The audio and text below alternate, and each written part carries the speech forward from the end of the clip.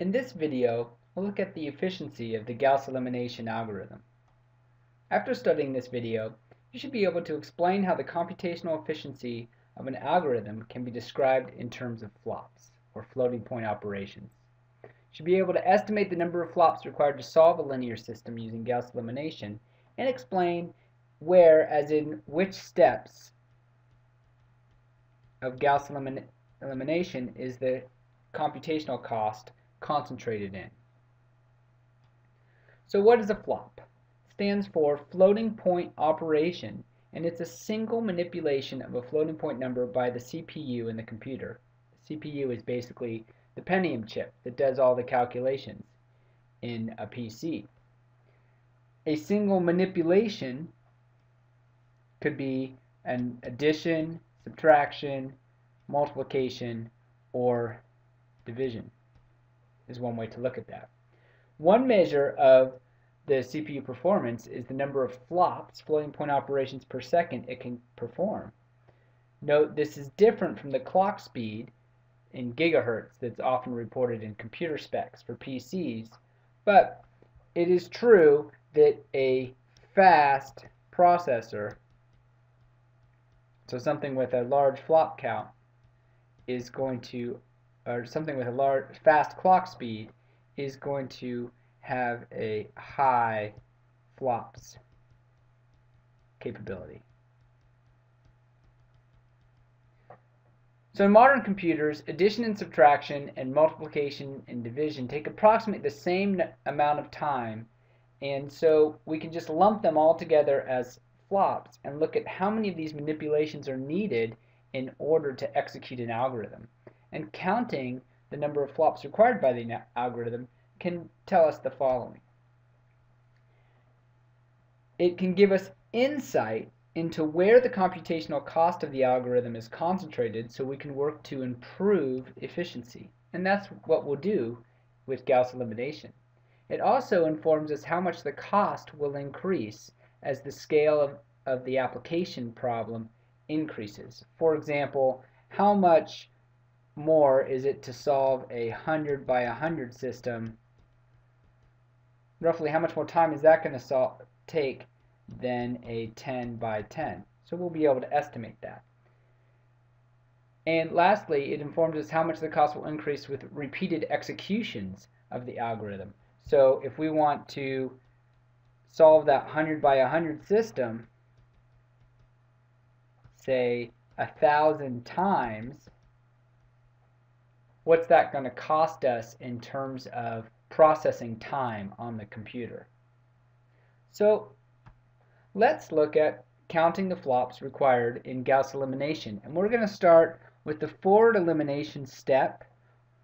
And this, again, is just an order of magnitude analysis. So we're just interested in how does the number of flops required to execute the algorithm depend on the size of the system.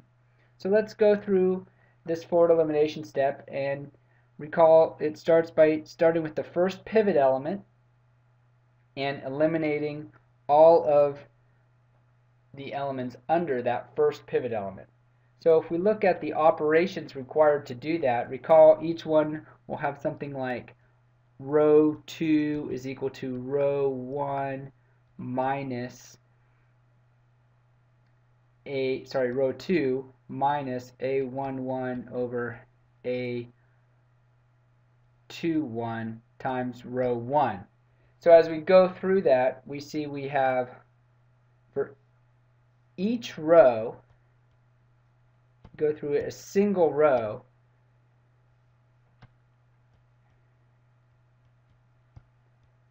we're going to have the single division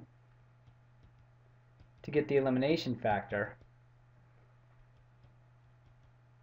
Then we're going to go through all of the elements in that row. So we're going to have approximately, if we think about the number of elements in the row is going to decrease as we move through the pivots, let's call it n over 2 multiplications. And that would be this multiplication. We'll have n over 2 of this multiplication for each row plus, and here's our subtraction at each element of the row. And again, since the number of columns is going to decrease from n at the first pivot down to 1 at the last pivot, we'll just say that it's n over 2. So we have n over 2 multiplications and then n over 2 subtractions. So overall, we're going to say that we have n operations. So this one division is kind of insignificant. So we'll say we have total of n flops for each row reduction. And then we're going to do that for each pivot element. So for each pivot element, we're going to have n flops down n minus 1 rows. Right, for that first pivot element, we're going to go down n minus 1 rows. And then we're going to do this for n minus 1 pivot elements. So if we just look at the leading term, we have n times n times n, and what we'll conclude is that overall that the number of flops required to do this is on the order of n cubed. So what does that mean when we say it's on the order of n cubed? Well, it tells us that we can make a rough estimate that it will take n cubed flops to solve the system. So a or for the forward elimination step to solve the system. So a 10 by 10 system would take approximately 10 cubed equals a thousand flops for the forward elimination step. Now, that's not particularly useful because the time it takes to execute a single flop depends on the specific computer, whether other processes are running simultaneously, and what else is going on in your code. But a more useful thing is to know that the computational cost will increase with the cube of the system size. So we know that a 100 by 100 system will take approximately a thousand times longer to compute than a 10 by 10 system. And the way that we can see that is a 100 by 100 system.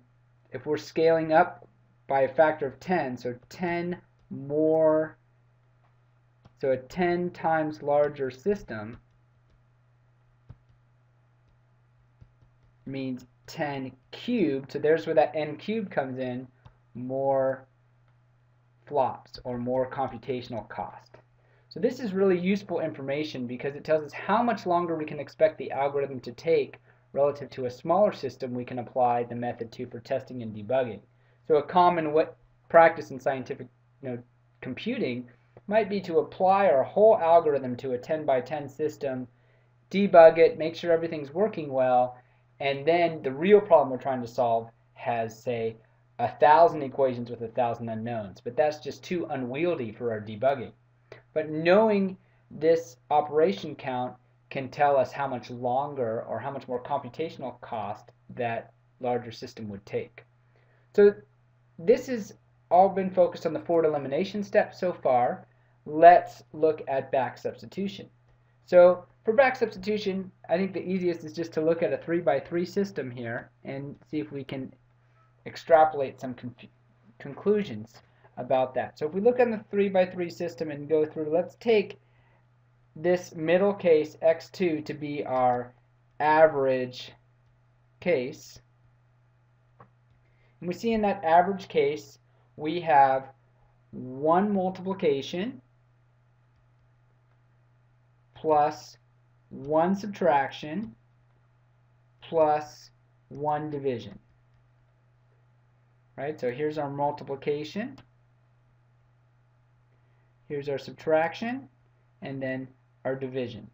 So roughly, average case, we have approximately n flops per row. and then we're going to go down or up since this is back substitution.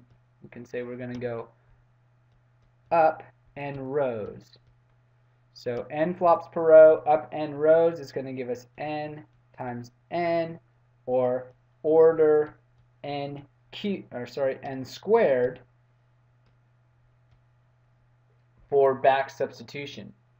And note where this becomes significant, these operation counts is for large systems that are going to take significant computational time. And for large systems,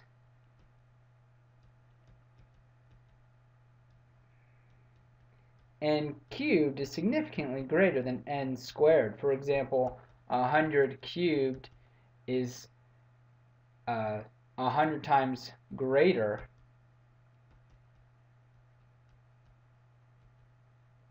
than 100 squared. So our main conclusion then is that the computational cost of Gauss elimination is on the order of n cubed and that's all concentrated in that forward elimination step.